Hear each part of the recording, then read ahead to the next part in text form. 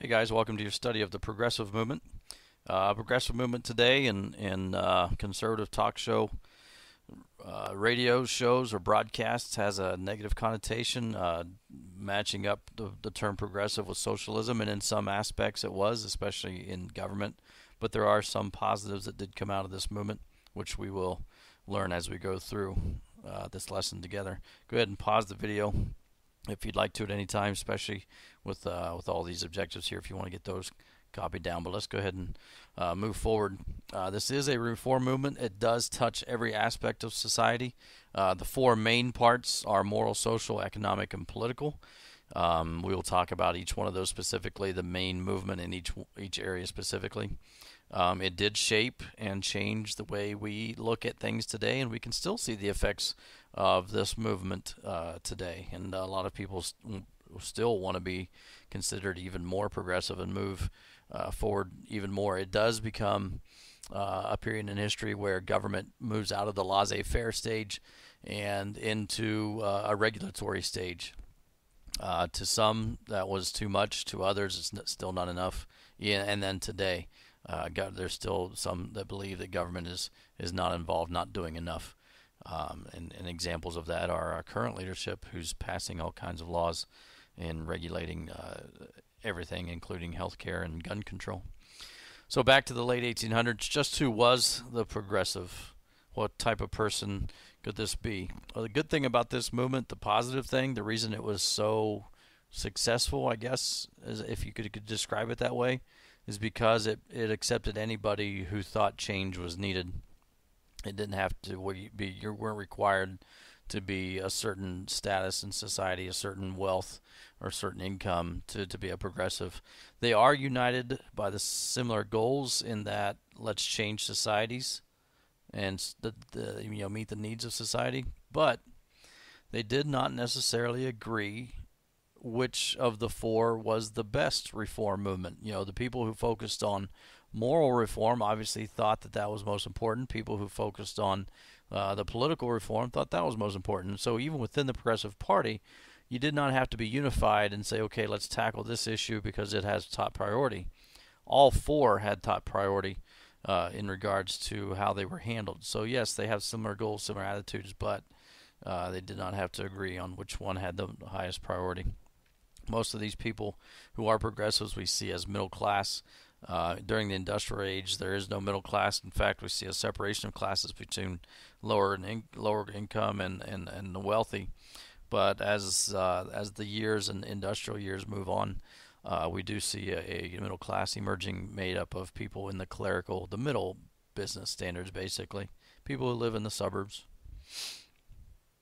The goal of the progressive was to find new rules for this new game, and this new game has been generated because of industry and because of our involvement in in world affairs. There's a new game now, and now we have to figure out the new rules for this game. And so we want to make the world better and more efficient and more moral.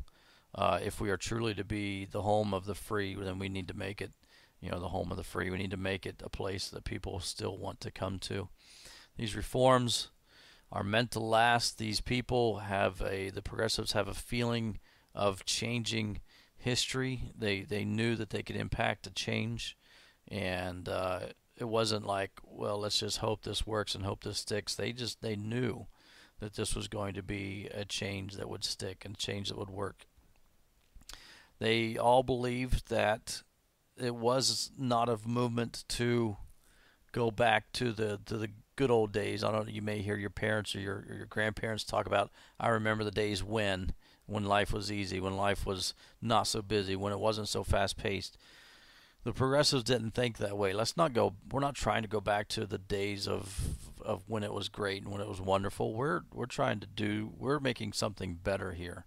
We're making. Uh, this is what we are doing is going to be the area the time to look back on and say, I wish it was like that.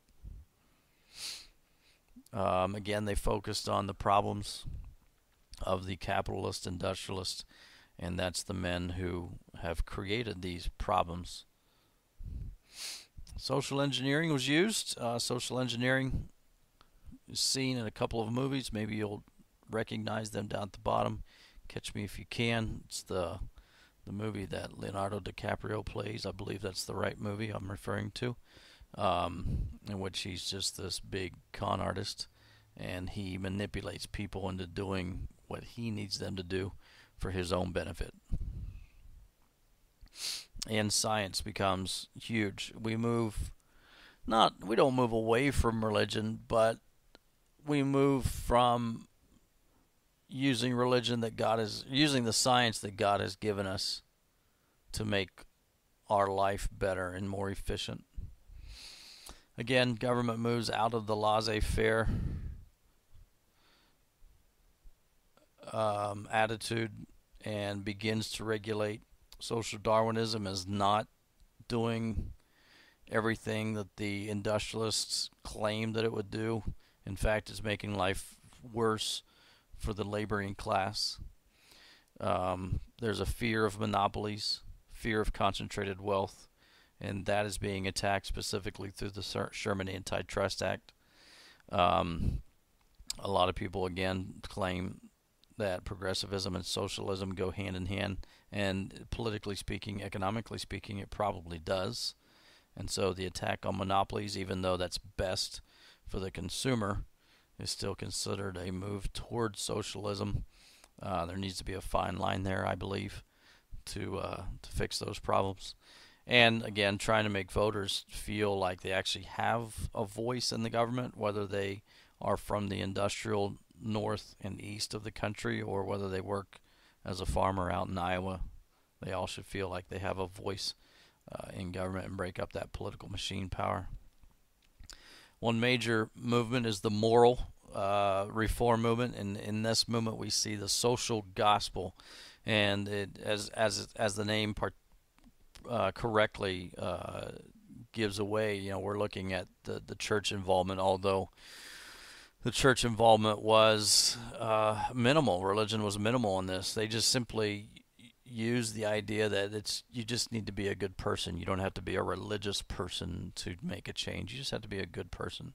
Although a lot of the work does find its home through Protestant churches as well as Catholic.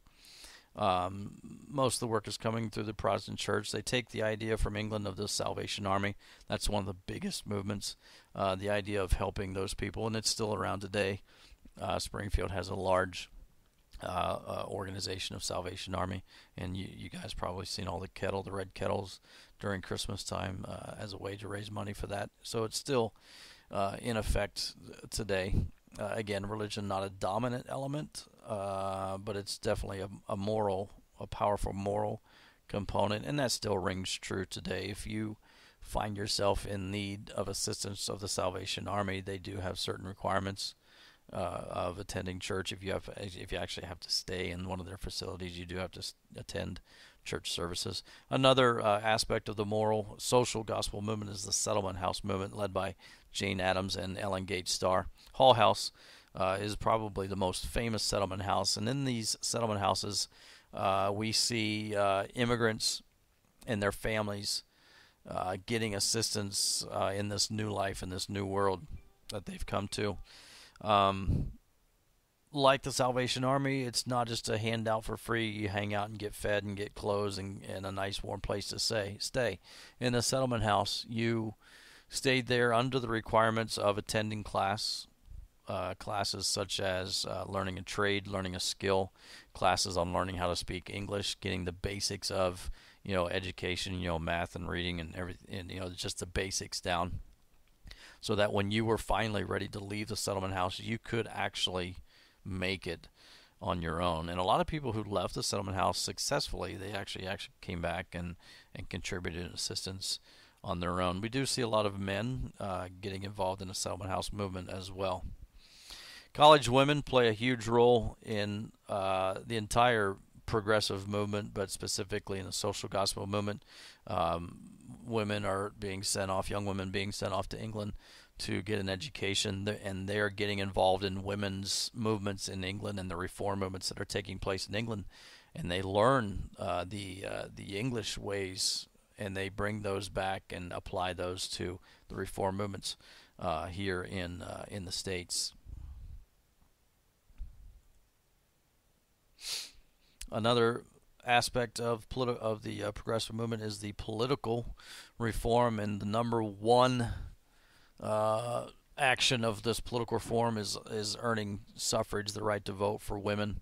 It's the largest movement of the era. It's, if anybody talks about progressive movement, that's probably one of the first things they talk think of is the women's rights and, and the suffrage movement. Um, suffragists fight against this sphere of domesticity, the idea that the woman's place is in the home, raising the kids, taking care of the family. Um, women take that and run with it, and actually they kind of spin it around and say, "Look, you've given us this this sphere to uh, be in control of." We tell you that our experience and our skill at running this sphere, at controlling the sphere of our lives or of society's lives, uh, makes us even more worthy of the vote. Um, Anti suffragists link the suffragists and women in favor of getting the vote to promiscuity and the neglect of children. They claim that they're too radical, that they're leaving behind their rightful places, and as a result, the families are suffering. Um, a lot of that is due to the fact of the type of woman who worked with the suffrage movement. Very rarely was it a, a, married woman with children. I mean, it is. There are there are cases when that was the situation, but most of the women involved in the suffrage movement are uh, single and young and college educated. And like I said earlier, they're they're coming back from England and have lived in a new radical world in Europe. And when they come back home, it's you know, it's not the return to uh, Mayville or to the you know quiet little town. And so, yeah, they're going to be linked with this new radical behavior. Of course, they are. For a woman to smoke in public, for a woman to talk to two or three different guys in, in the same night, just sit and talk with them, was looked upon, and that's what we're that's what we're referring to there as being promiscuous. Kissing a man in public, how dare you do such a thing? One major uh, suffrage movement or suffrage association is NAWSA, National American Women's Suffrage Association. Probably the most famous leader of this was Carrie Chapman Catt. Um, she wanted to lobby states, go do a state by state campaign, and for the most part, it was successful in the West. We see uh, states like Wyoming uh, giving women the right to vote in local and state elections early, early on.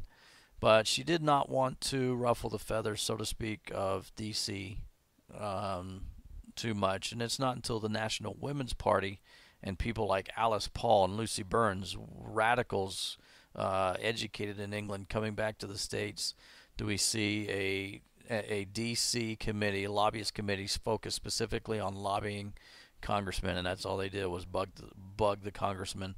Uh, they have major parades. Uh, women are arrested uh, especially during World War One or times leading up to World War One when they were striking out in front of the White House. Uh, that was considered to be a violation of the Sedition Act and the Espionage Acts, and they're taken to prison and they're fined ten dollars. And when they don't pay their fine, they have to spend 60 days in a work prison. And one of the more famous stories is when Alice Paul goes on a uh, hunger strike. Um, all of this is in a movie, uh, which I will refer to. I'll show you in a little bit, but. Um, major, major radical efforts. And in fact, the National Women's Party is forced to split off from uh, the, the, National American Women's Suffrage Association because they were seen as too radical. Even women themselves almost were their own worst enemies. Uh, the two two parties that could have worked together and maybe achieved suffrage much much quicker uh, separated because of uh, differences in ideology and how things should be carried out. The 19th Amendment does uh, eventually get ratified shortly after World War One. Finally, Woodrow Wilson uh, supports that. The Food and Drug Administration uh, plays a key role in refining and, and regulating the meatpacking industry throughout the Spanish American War more men died from uh, spoiled meat or what they called tainted meat than in actual battle. I think we had 400 men or so killed in action by, you know, weapons of the enemy. We had about 4,000 men killed from our food we were sending it home. Food's processed, being put into cans and shipped to the uh, to the men, and they weren't safe because there was no cleanliness. uh, involved uh, in the packing. There was no regulation of the packing. Um, all of this comes to light due to muckrakers, muckrakers such as Upton Sinclair. Uh, he actually, to to uh, to write his book, The Jungle, he gets a job in Chicago in the meatpacking industry, and he learns all the ins and outs, and he gets to know the immigrants working there, and he gets to see firsthand uh, what's going on. His goal of the book was to show how badly the workers were being treated. But by the time his story is published and read, it comes to be a story on how badly the meat is being treated. And he says a famous quote: "I aimed at the heart, but hit it in the stomach." Um, and because of this book, Teddy Roosevelt actually encourages and creates, has the FDA created, and goes on a uh, major uh, plan to uh, renovate and regulate the meatpacking industry. Um, 1906, we see uh, labels being required, stamps of approval by the government. Consumers start to feel safe and they start to rely on the government. If you see the government stamped and the government's checked it, then it must be good. That's one of the official checkers stamping the the hogs, the pork there. Social social jurisprudence. Uh, how do you determine what's fair in our court systems? Up until this time, we used precedent. We used, you know, what what's the precedent? What has happened before? How have the rulings gone down before? And let's follow that precedent. Let's follow that example. Uh, progressives, though, they take they take a look at the law and they say the law should be determined by looking at its effect on people. One case, Muller versus Oregon.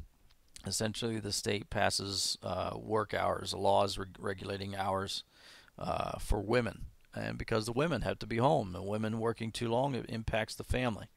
So women can only work 10 hours a day. Muller owns a steam shop laundry, says it's unconstitutional. You're telling me I can only work my shop 10 hours a day, or I can, uh, you know, I'm limited to what I can do. You can't tell me how to run my own business. Uh, and according to precedent, that would be accurate. However, based on uh, the National Consumer League's findings, and their argument that again the life the work working of the woman and impacts families impacts the mor- morals of the family and by extension the community the law is changed and uh, the court upholds the 10 hour workday that Oregon the state of Oregon passed again the validity of the law determines and it's based on what how it affects society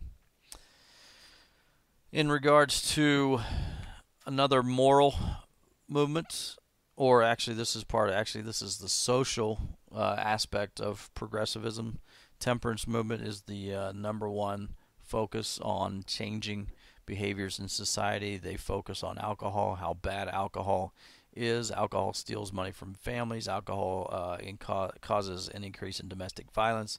Alcohol hurts women because the domestic violence is usually carried out against women and even some industry types. The owners claim that alcohol hurts industry because if men come into work drunk or hungover, uh, you know they're slower on the job or there's accidents on the job. Big organization formed here is the WCTU, Women's Christian Temperance Union. Carrie Chapman, uh, no, this is uh, not Carrie Chapman, Catt. I can't think of her name. She carried her uh, a hatchet around. She'd walk into saloons. This little old lady, little old grandma, would walk into saloons politely ask the bar owner to close the saloon down, send these men home to their families where they belong. Bar owner's like, "You're crazy, get out of here, woman." And that's all it took. She'd start busting up the place with her little hatchet. She was arrested many times, but the men left and went home.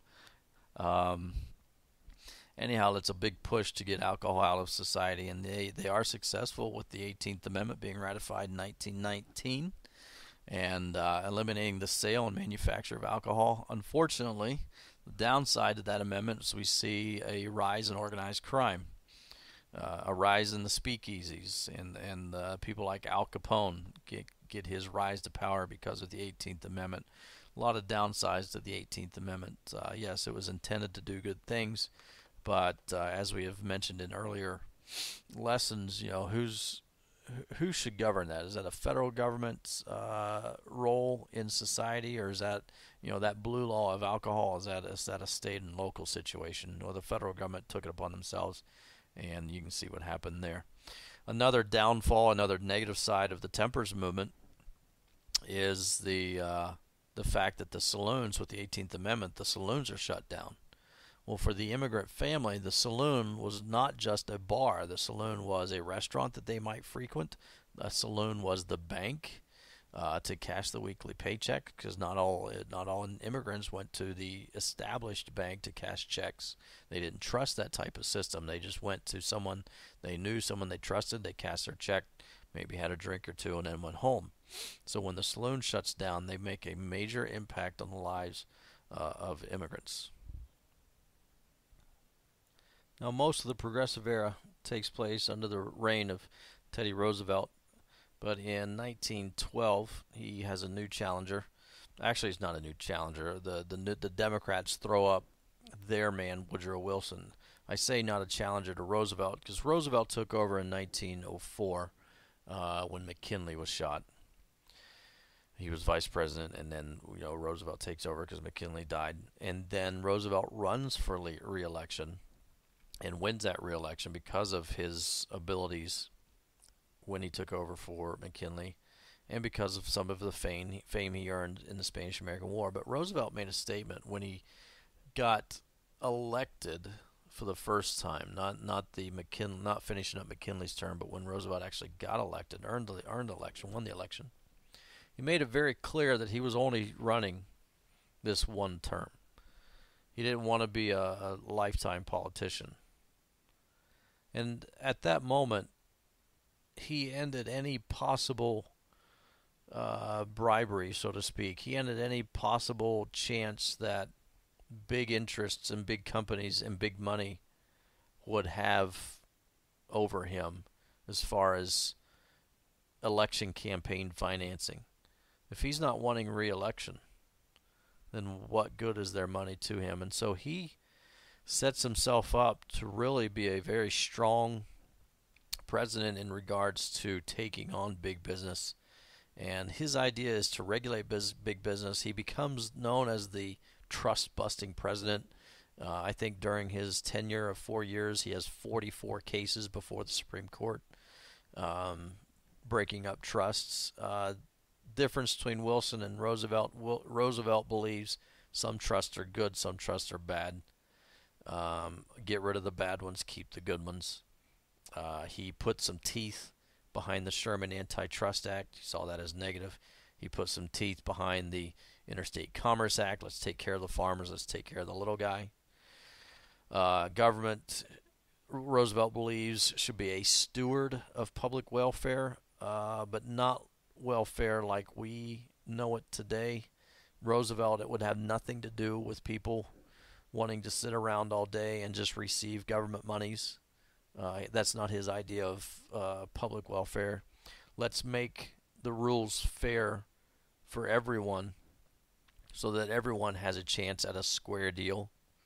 And by square deal, meaning you have your right to make money and, and to live comfortably. But you have to go out and earn that square deal. You, you can't just sit back and let it be handed to you. There's no one going to be buying you phones. No one's going to be paying your house payment. No one's going to be paying your child support. You actually have to go out and earn your money to take care of your family, take care of yourself. And so that's where I think Roosevelt does get a negative image as being part of the progressive movement in those regards. But uh, yeah, he would not agree with the uh, the welfare state as we as we have it today. Wilson, on the other hand, believed all uh, trusts were bad and, and took the trust busting a step further.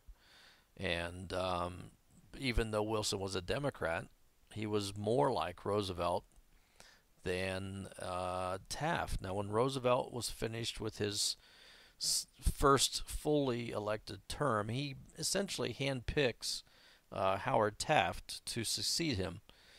Uh, the story goes that Will, Roosevelt has Taft and Mrs. Taft over for dinner, and during the course of the evening, Roosevelt asks Mr. Taft, uh, Howard, uh, William, what do you what do you want? Do you want the the presidency or do you want the uh, Chief Justice of the Supreme Court?